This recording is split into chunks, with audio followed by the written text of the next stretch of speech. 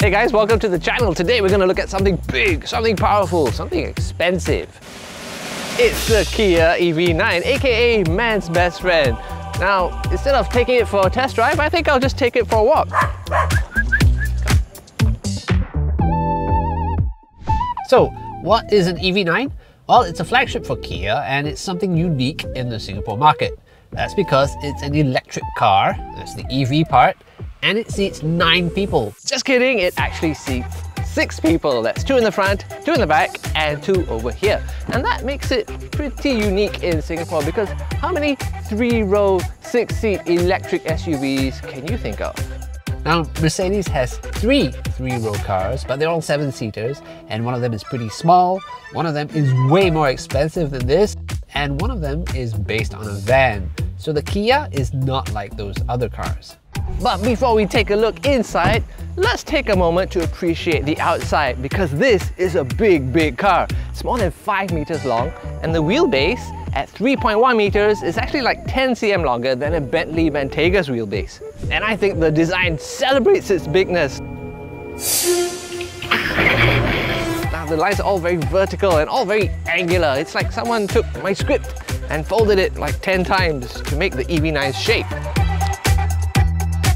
And yet, it's very futuristic. You have all these cool details like these pop-out door handles. And how about these digital wing mirrors? I mean, I first saw these on an Audi, but here they are now on a Kia. There's no front grille because, well, electric, and instead you have this super cool lighting signature. And look at this crazy headlight design. I mean, the daytime running light goes like that, like that, like that. It's almost like a bolt of lightning. I've never seen anything like this before. And I think this tail light is super funky too. I mean, it leads your eye this way, this way, and that way. Now let's check out the back here. Okay, you've got quite a nice tailgate spoiler, and yes, I think there is a wiper hidden under there, very posh. Now, I don't know what your impression is, but Many SUVs try to kind of minimize this surface over here. They'll put little indentations here or whatever. But look at the Kia, it frames its tailgate with the tail lights just to emphasize the width and then it kind of keeps the surface really clean and that seems to emphasize the verticality of this tailgate. It's almost like this is the car that wants you to realize just how big it is. And that's important because it has a big price. Here in Singapore, it costs $289,888 without the COE. There's never been a Kia anywhere near as expensive as this one. But that money does buy plenty of metal and hardware. Here in Singapore, we get the GT line, which has twin motors and 380 horsepower. That long wheelbase creates space for a big, big battery too, 99.8 kilowatt hours which gives the car more than 500 kilometers of range. Okay, finally, time to look inside the car. First things first, I have my lovely aircon vents in front of me and my own aircon controls as well. And this being a Kia, I've got a ventilated chair to sit in.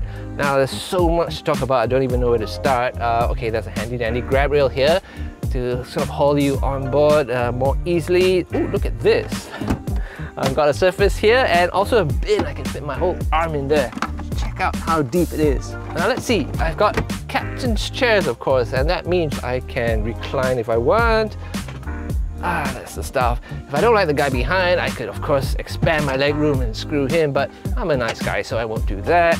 Now let's see, now captain's chairs are obviously more luxurious than having three in a row. It's like business class on the plane, right? But let me show you one extra benefit. Observe as my 48 year old spine takes me to the back, like so. Okay, this button here means I can sort of get out more normally if I want to. But when I'm back here, I can tell you I've got loads of room. I mean, I am a full-grown adult, but look at how much leg room and headroom I have back here. So, I'm pretty well accommodated and I really like this glass roof because it lets a lot of light flood into the cabin, makes it feel more airy and more spacious. I can also recline, I've got my beverage holder and I have a USB charging port, we both do. So let's say I'm the moody teenager of my household, right? I can just recline back here, read up and ignore my parents. Ooh, oh, but you know what? Sometimes you need to carry stuff more than you need to carry people. So let me show you what the beep is back here. Now let me fool around with the space here because you do have quite a lot even with all seven seats up.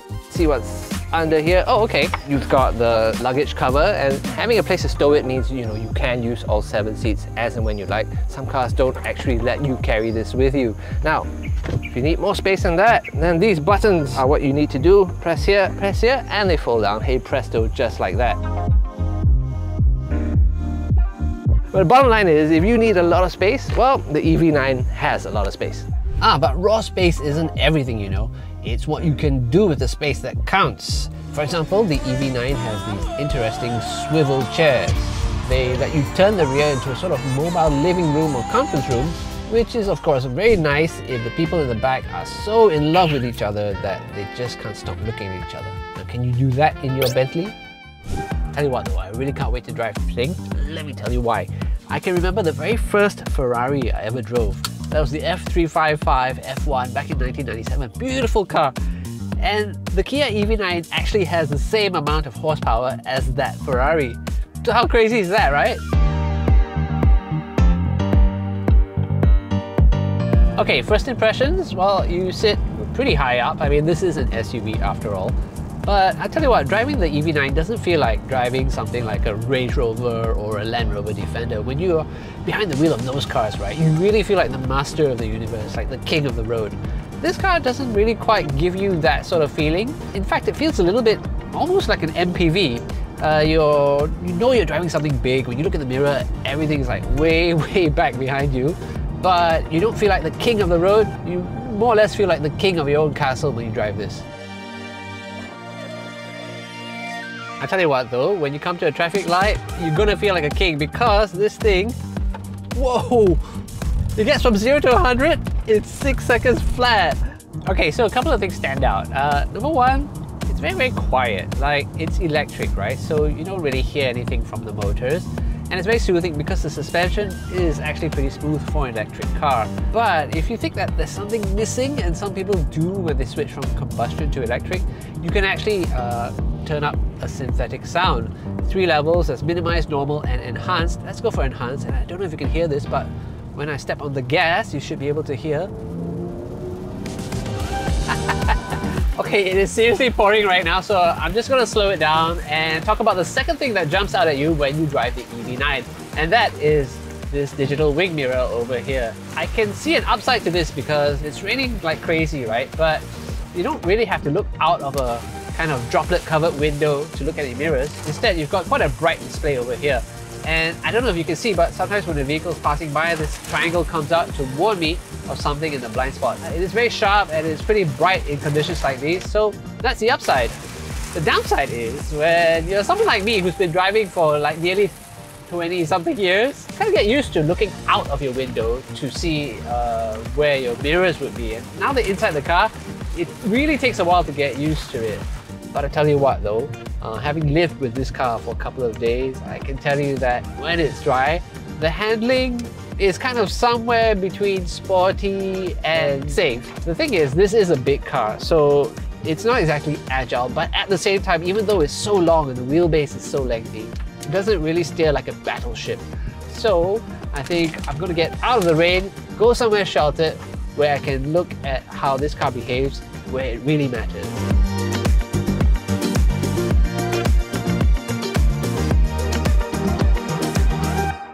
Okay, so now let's see how the EV9 handles one of the toughest driving challenges known to man, aka the Singapore multi-story car park. So let's see how this 5.1 or 5 meter car handles these tight, tight ramps. And I'll show you that uh, with this car, uh, you have the aid of some technology to make things a little bit easier. Now my basic worries are that I'll scratch the bumper or maybe curb a wheel, right? So I can press this, let me show you how the magic happens. And I've got a 360 view of the car, but not just that, you can see these yellow lines here, they kind of tell you where the car is going to go. This yellow line down here, it tells me that I'm not going to hit the curb over there. So that's brilliant because I can see where my car is, but also where it might be headed. And if all that is not enough, I can just signal right. And I don't know if you can see this, but there's a little view of the, the right hand side of my car. And I can see very well that I'm just not in danger of uh, hitting that curb over there. So I'm gonna jinx myself here, but I think I'm gonna say that it's gotta be almost impossible to scratch the wheels on a Kia EV9 or to scratch a bumper. Okay, now we come to the ultimate test though, and I don't know whether it's a test of my masculinity or a test of the EV9. And of course I'm talking about parallel parking, so let me just make things easy for myself. I'm gonna park this car in front of a million dollar BMW XM and I hope don't scratch that car. Now I haven't rehearsed this, so this is the first time I'm actually parallel parking this car and this is the first time I'm gonna do it. Of course we have an audience, we have an ambulance on standby. Alright, it's a big car, man. I'm really feeling the size now. But at the same time, I've got this camera system, so oh no, it's not gonna work. Okay, I'm gonna go for it. I'm gonna start turning a little bit earlier and see what happens. I'm good. oh, this is terrible. Okay, one more shot and I should be home. And the thing is, these are regulation, I think HDB size parking spots. So they are pretty tight. My car is five meters long and the whole thing is 5 meters long. So I more or less got it in. A little bit far away from the curb, but I think I'll take it as a pass. And obviously, quite used to taking something big and slotting it home somewhere tight. Okay, so I wanted to come somewhere a little bit darker because that really helps to bring out what this cabin is like. Now, check out the ambient lighting for example. I can set it to the driving mode so if I'm in sport mode everything goes fiery red and then apparently when it's my driving style everything gets a bit purple. Uh, the eco color scheme is all sort of green, aquamarine, a bit more soothing and then there is back to the normal driving mode over here. You can see the ambient lighting changing to suit. What's interesting as well is these virtual buttons here, they're kind of backlit and it's all a flat panel uh, so there's no actual buttons here, but when you press down on it, it does change things. So yeah, that's actually quite a cool feature. Now, in terms of the cabin layout, it's actually quite open and airy in here. Now remember, this is an electric car, so we don't need a transmission tunnel, so that frees up a lot of space in the center over here. So here, if I'm carrying a handbag, I've got lots of space for that. And I have space for quite a roomy cup holder here as well. Two cup holders, in fact. And uh, oh, hello Mr. Chia. This is actually where the wireless charging pad for phones is, and it's quite a big one. And there's not a whole lot of room under here. And that's because the space is taken up by that drawer for the rear passengers. Okay, now let me tell you about what's in front of me. There's a couple of buttons down there which uh, you can't quite see, but that opens up the front as well as the boot charging flap as well uh, and it's the parking brake. Uh, there is a little stubby controller here where you set the park, go forward, reverse and that's on the right over here. In front of me I have actually not two but three screens. That's a bit unusual but the one in front of me of course is all the driver displays. Then I've got the touch screen which is very bright and clear and pretty easy to use but I do have to lean out of my seat to reach the furthest corner. The thing in the middle here, this little micro display, is actually for the climate controls. Now, I'm not so sure I like it over there because I can't actually see it very well from where I'm sitting because the steering wheel is in the way. So I kind of have to do this. But it is not a huge problem because I do still have these physical switches to set the temperature, to set the mode and the fan speed. So this one here is to impress your friends with and this set over here is to actually use. And finally, I want to do the old fingernail test. So let's have a go. Oh, that's a bit hard over there. Ah, better. Uh, let's try the doors. Yeah, that's actually not too bad. And uh, you've got a bit of a padded surface over here. Overall, I would say the plastics are just about sub-premium. Um, and you know, this is a cabin that's very easy on the eye, but maybe not so easy on the fingernails. But if you ask me, I think that's okay because it's very clear that what you spend your money on with the Kia EV9 is all that space and of course all the EV technology. So let's summarize. The Kia EV9 is big, it's powerful, and it is relatively easy to drive. And thanks to all those cameras, it is not a nightmare to park. I quite like the interior too. I mean, it's not super high quality, but if you're sitting in front, it's actually quite easy on the eye and it's futuristic as well, but without being all confusing to use. If you're sitting in the back, it's spacious, it's comfortable, and it's versatile. But it is expensive. Or is it? I mean, think about it for a second. For the same amount of money, what else can you buy that's this big, this powerful, this spacious, this versatile, this well equipped, and this comfortable? That's right, there's nothing else out there. Of course, some people are going to look at the EV9 and say, yeah, but it's a Kia.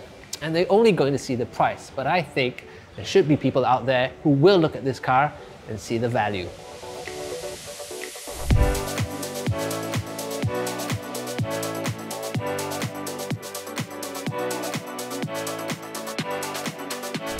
That's our review of the Kia EV9. Now, if you are interested in the EV9 or other Kia models, we have sales consultants from Cycle and Carriage Kia for you to connect with on mrchia.sg.